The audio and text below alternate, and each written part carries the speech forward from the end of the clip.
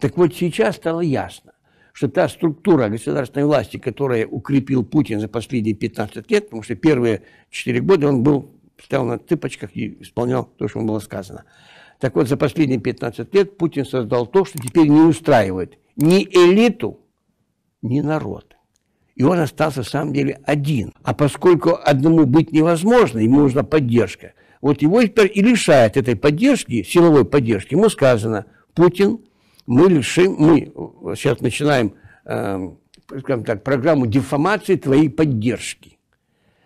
Казалось бы, кто может лишить Путина его власти в Российской Федерации, да? Кто деньги? А деньги при всем э, безграничном богатстве, несметном богатстве Путина в России все-таки находится не в России, а у хозяев денег за рубежом. И вот сейчас, я думаю, вот это вот заявление Минфина о том, что он сокращать армию э, и Росгвардию, и МВД, это, может быть, если не последнее предупреждение, но предпоследнее точно. Путину сказано, что все, Вован, ты нам уже больше в том виде не нужен, давай-ка сними свои амбиции в отношении своей поддержки и будем договариваться – то есть торг уместен, так можно сказать. Конечно, это мои предположения. Еще скажу, э, Конституция вообще никакого отношения не имеет, это значения не имеет для него. Речь пошла о власти. Путин уходить из власти не хочет. А ему говорят, ты держишься теперь денежки, ты знаешь где? И кто может перекрыть кранчик с деньгами? Тебе и всем нам. Поэтому, чтобы нам не перекрыли этот кранчик, давай-ка выходи по-хорошему. Есть сигналы, которыми обмениваются соответствующие два клана. Путинский либеральный клан и антипутинский либеральный клан. Безусловно, Набиулина, вся эта вот это его грефовская, оно считается пропутинским. Но это не совсем так, а может даже совсем не так, потому что то, чем распоряжается в России деньгами вот его, скажем так, ближайшие сатрапы, на самом деле хозяева сатрапов не Путин является их полным хозяевом. Они подчиняются мировым хозяевам денег или мировой закулисье. Вот в чем смысл. Валерий, да, Валерий Соловей да, да. сейчас в последние где-то недели две или три просто не сходит, э, не выходит из информационного пространства. Причем он грозит, вот, грозит э, тем, что он является выразителем или представителем ну, тайной, да. могущественной да, силы. Да, наместник. Вот, да. А эта тайна могущественная сила, она ясна. Это это Чубайс, Греф, Набиулина, ну и, и прочее, прочее, прочее. То есть это, это там же Дьяченко Татьяна, ну, дочка Путина, там же еще вот, Юмашу, по-моему. Это вот тот ельцинский клан.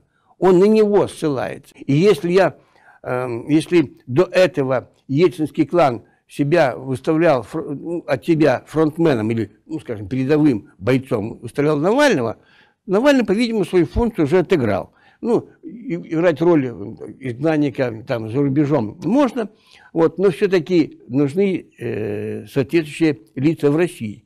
Я думаю, что Соловей там, безусловно, опасный очень. Умный, опасный По крайней мере, человек. это очень умный человек. Да. Несмотря на одиозность своих заявлений, это человек очень умный. Конечно же. Более того, он заигрывает с оппозицией. Я думаю, что Навального карта разыграна, он остался где-то там во второй очереди в колоде. Вот. Возможно, Соловей сейчас выходит. Опять же, это ельцинский клан, о чем он прямо и открыто говорит. О чем он прямо и открыто заявляет. Что Владимир Васильевич, я немножко не понимаю. Э, Соловей на царство? Я не понял.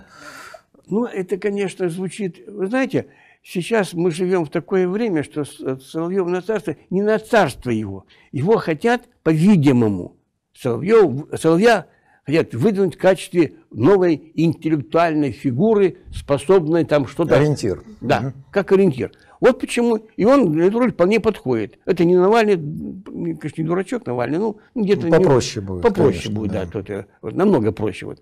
А это уже все-таки фигура, потому что идет постоянно отбор лиц на эту роль. Навальный отыграл свое, не справился, ну, с чем-то справился, с чем-то не справился, отошел. Сейчас, возможно, э, Соловей эту роль играет. Я к тому, что сейчас между, между путинским кланом и антипутинским либеральным кланом, это оба либеральные клана, между ними они входят какой-то, то есть узел затягивается, и нас э, ждут события. Я думаю, если раньше мне казалось, что ну, может быть, год, два, то и три. Вот. Я думаю, речь пошла уже о месяцах. Я думаю, что для них, кого мы сделаем нашим главарем, не имеет значения. Сделали же подполковника ФСБ в свое время целым президентом Российской Федерации. Да, они сначала думали, что будет это техническая вот. фигура. То же самое и с Соловьем, то же самое с Навальным. Для них эти фигурки, эти пешечки, для них большого значения не имеют. Это мы привыкли конструктивно. У кого конструктив?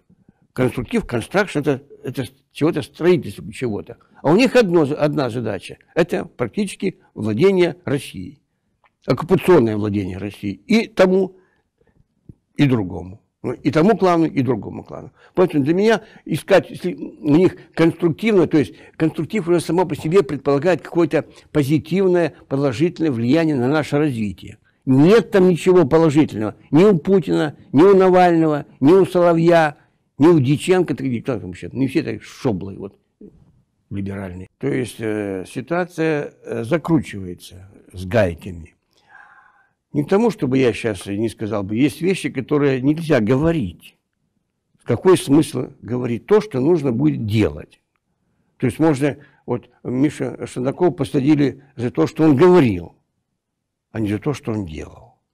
Поэтому, если говорить о месяцах, я считаю, что все-таки почему, вот на мой взгляд, вот эти вот две позиции, одна путинская, другая антипутинская. Путинская – это госсовет, антипутинская – это сокращение силовиков, практически а, ну, вызов недовольства внутри его э, опоры Росгвардии и армии, и, и МВД. Вот. Это и есть тот ответ. Вован, давай договариваться. Уходи, иначе, иначе нам будет плохо. Прежде всего, тебе будет плохо. Такие вещи не выскакивали, чтобы э, в открытую пойти. Ведь это плевок Путину это плевок Путину в лицо. Мы хотим сократить на 100 тысяч вооруженные силы, на которые ты трезвонишь, против кинжалы различные, арматы, маматы и так далее. Вот. Ты нам говоришь, а мы говорим, а мы хотим сократить на 100 тысяч вооруженные силы. Ты говоришь о Росгвардии, там о чем-то еще, а мы хотим увеличить срок. Здесь понятно, что если офицерам, ну, контрактникам служить на 5 лет больше, а потом там теперь не засчитывается у них даже срок, срок обучения, не, не зачитывается срок службы, ну, ну, это явно уже все. Нет, там много, там сплошное поражение да, в правах. Совершенно да. точно. Это явное недовольствие в силовых структурах. Ты хотел на них опираться, Вова?